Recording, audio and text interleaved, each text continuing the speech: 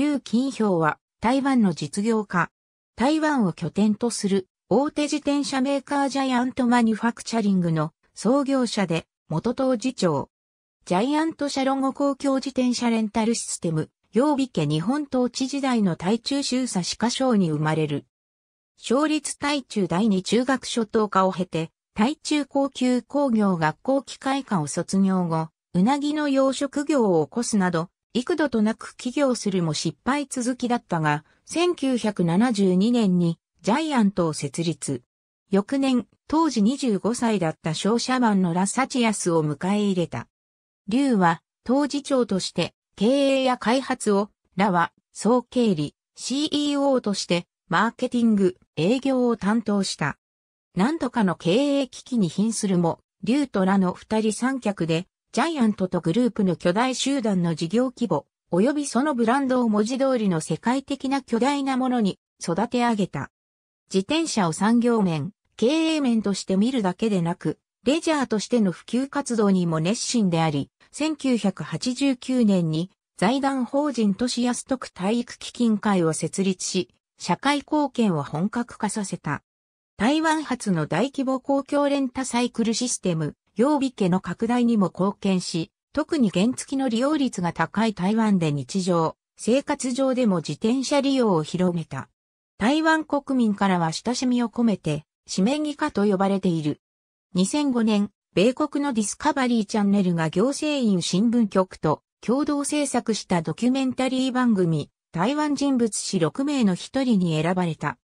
台湾島を一周する自転車道関島1号線2007年、練習局に触発され、73歳時に自転車での関島を15日間で達成。同年に行政院体育委員会から体育運動性へ進む全民運動、推薦部門を受賞した。その後自転車監島が国内外の旅行者に広まると、自社参加の早安特旅行者主催で、毎年11月にチームで9日間かけて台湾を一周するイベント、台湾自行車説が開催するなど、ブームの高まりを後押しし、政府にも安全性を確保すべく、標識や補給地点を完備した自転車道、関島1号線の整備を働きかけて2015年に全線開通している。2009年には中華民国総統府市政に就任し、馬英九、蔡英文領政権に助言。同年中国で北京上海間 1668km を集団ツアーながら5月9日から5月28日の20日間で完走する景気鼓動も達成している。2010年の76歳時には6月14日からオランダ国内を5日間で 500km を走破するツアー、気心二力も完走。2014年、80歳時に2度目の台湾一周 966km を12日間で完走した。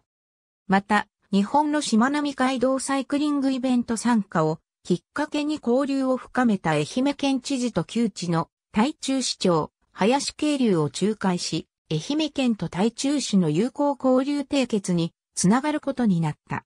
2016年5月には、滋賀県森山市で、ビワイチの一部を体験、滋賀県のサイクリング聖地化に助言を行った。同年末で、ジャイアントの会長職を、長男のユーマサに譲り、らと共に党ごとに2017年11月、日本政府が発表した秋の外国人、助訓受賞者発表で、朝日中受賞を受賞。ありがとうございます。